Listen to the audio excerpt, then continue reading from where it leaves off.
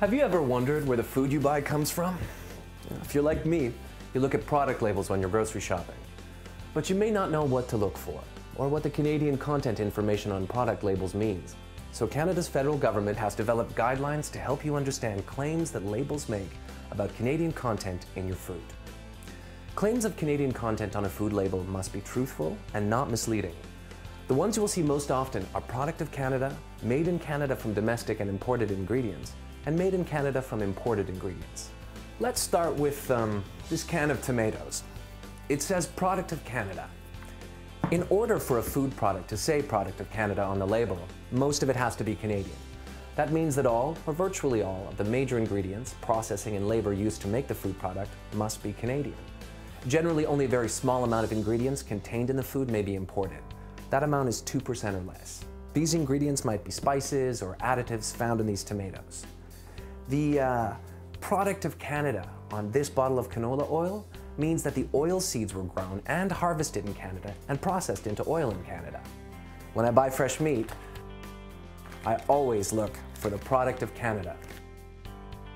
That way I know that this chicken, for example, was hatched, raised, and processed right here in Canada. I prefer to buy product of Canada, but I understand that some ingredients used to make our food are not always available here some cannot grow in Canada. So I look for other types of labels that help me decide which products to bring home. There are two types of Made in Canada statements that tell me that all the ingredients in these products were not grown here, but the product itself was made in Canada. Well, let's take this strawberry jam as an example of the first type. Its label says, made in Canada from domestic and imported ingredients. This means that the jam was made in Canada using both Canadian and imported ingredients. Uh, this bottle of salad dressing. Says made in Canada from imported ingredients. That's the second type of made in Canada label. It lets me know that the product was made here in Canada and that all of its ingredients are imported. In both cases, this additional information about the ingredients, which is called a qualifying statement, must be on the label.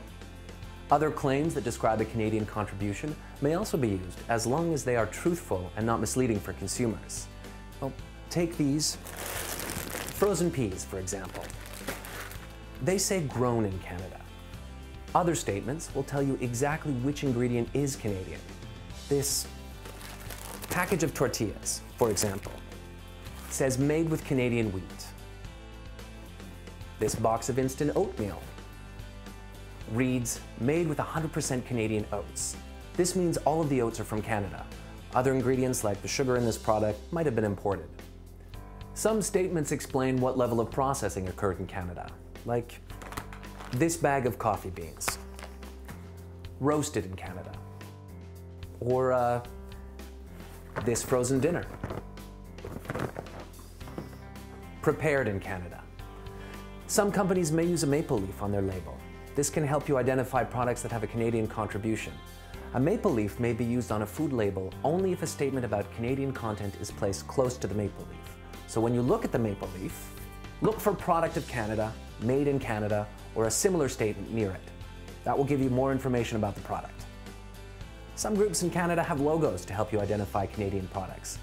For example, the Canadian Cattlemen's Association developed the Canadian Beef Brand Mark, which identifies that the beef was raised and processed in Canada. Pork Marketing Canada has their brand mark, which tells me this pork was born, raised, and processed right here in Canada. This uh, chocolate ice cream has a declaration that says 100% Canadian milk. This statement means that all of the milk and all other milk ingredients are Canadian, but other ingredients, like the sugar and the cocoa used to flavor it, could be imported. One easy mistake that many consumers like myself make is thinking that some logos and statements mean the product is Canadian when they often don't. For example, this Canada Organic Standard logo shows me that the yogurt I bought has met the Canadian government standards for organic food.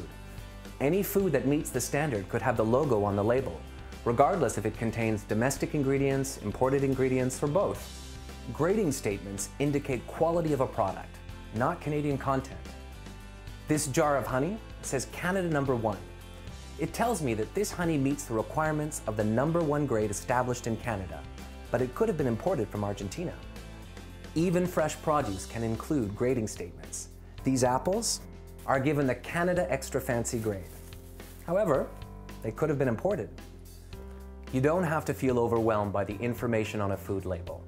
Although companies are not required to use them, you can rely on the federal government's Product of Canada guidelines to help you identify Canadian content and processing. That way, you know you're bringing home products from Canada's producers and processors who are dedicated to excellence, safety, quality, and environmental responsibility.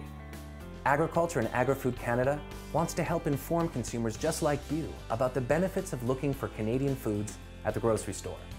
To learn more about how to identify Canadian food products, the advantages of buying Canadian, and great recipes using Canadian ingredients, please visit www.eatcanadian.ca.